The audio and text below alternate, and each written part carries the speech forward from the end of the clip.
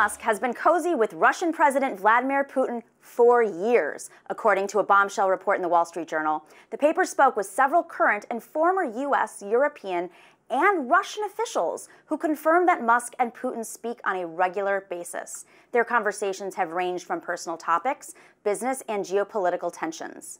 The article also reveals that Putin allegedly asked Musk to avoid activating his Starlink satellite internet service over Taiwan as a favor to Chinese leader Xi Jinping.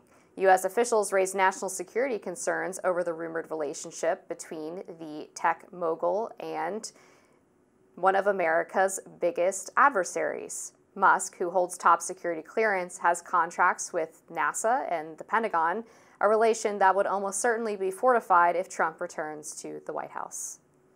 Elon Musk, Russian agent, I mean, it's concerning that he has top security clearance and contracts and, and has intelligence when it comes to our national security plans, uh, given Starlink. And of course, NASA, too, is, is part of that, uh, his, his relationship with his, uh, the NASA program.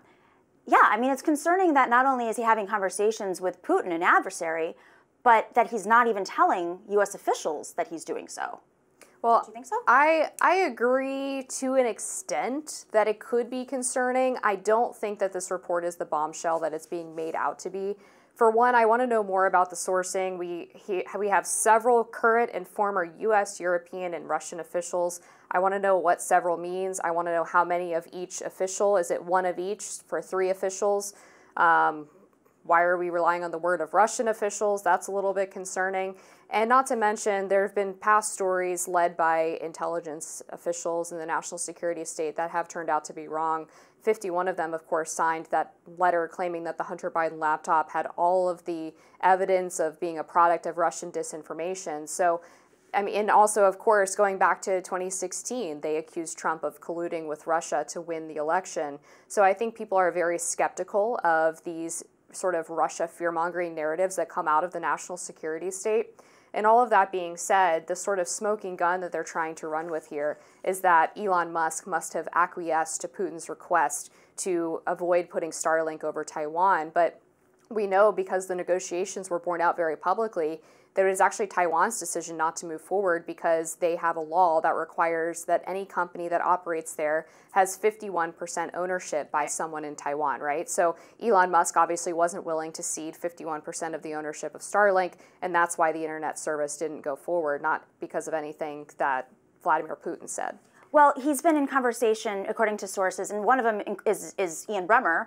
Uh, that is one source who's come out and said that he did have a conversation with Elon Musk in uh, he's the president of the Eurasia Group, uh, that he had a conversation with Elon Musk at a conference in Aspen. And this is after some of the sources, of course, our administration folks, our people in the Russian government. It's not as necessarily against Russian interests to, to verify this, but one of the people that Elon Musk has been speaking to is the uh, deputy, what is it? He's the deputy uh, chief of staff to, yes, first deputy chief of staff. They have the first, second, third deputies in Russia, I guess, um, under Putin, Sergei, Sergei Kiriyenko, who uh, has been in constant conversation with Musk, but this is the person who put out 30 different uh, website domains to spread disinformation about Ukraine.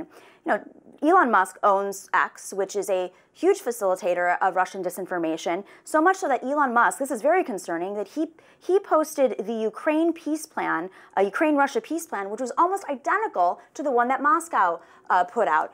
It's one thing to say the national security state uh, was not able to provide enough evidence for certain things. But Russia doesn't necessarily need evidence to spread disinformation campaigns. It doesn't mean that they were behind the Hunter, lap- Hunter Biden laptop uh, situation. It's that they were spreading it throughout the internet to cause divisions. And that's something that's part of their strategy. They find something that's true or 1% true, and they put bots and disinformation networks out there to sow division. And that's hurting our national security. I don't think you would you would disagree with me on that. That disinformation campaigns definitely influence folks.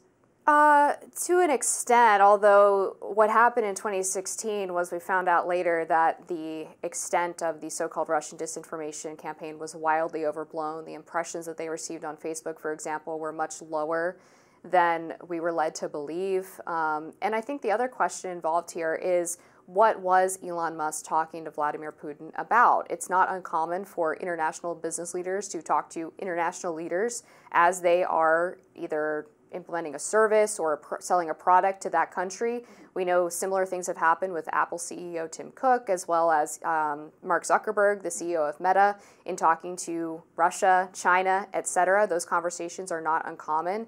The question is were they talking about national security issues or things that are sensitive to the United States? And based on this Wall Street Journal report, it doesn't sound like they were because about eight paragraphs down, they kind of bury the lead and say that these officials did not indicate that there were any national security concerns from Musk's conversations. And you have to assume that every time he's talking to a deputy of Putin or even Putin himself, that those conversations are being recorded, right? They know exactly what those people are saying. Well, Putin does. I mean, it, we don't and have any. Um, we don't have any knowledge that the U.S. was recording Elon Musk. But also, again, it's it's it's not necessarily. First off, they did have conversations about situations like Ukraine and Russia, and that's concerning. They had such, uh, they had a conversation whether or not Taiwan chose to not use Starlink or not. They still had a conversation saying that you know Putin was asking him to not use Starlink above Taiwan because as a favor to his ally yeah, China. and I will say that claim in particular has less sourcing than the general claim that the Wall Street Journal article makes that they were speaking on a regular basis. I believe that Taiwan claim only has one unnamed source, which is um, shouldn't really pass journalistic muster. Well, it's, maybe it's, it was two, but I mean, I guess the question for me is like, do you have would you have equal concern over Mark Zuckerberg going in person to meet with Xi Jinping and then asking him to give his child an official Chinese name? Um, also, Tim Cook had a very close relationship with the Chinese president. So I just I don't find this out of the norm with how we've seen other businessmen operate with international leaders. Well, those businessmen did not have high level security clear, clearance, and they did not have. Uh, secure, they did not have contracts. Well, Facebook had military contracts. Not, not related to national. Did he have personally high level and I would be against that too, by the way. Anybody who has critical information about our national security state should not be having conversations with foreign leaders, and definitely not behind the back of the US government.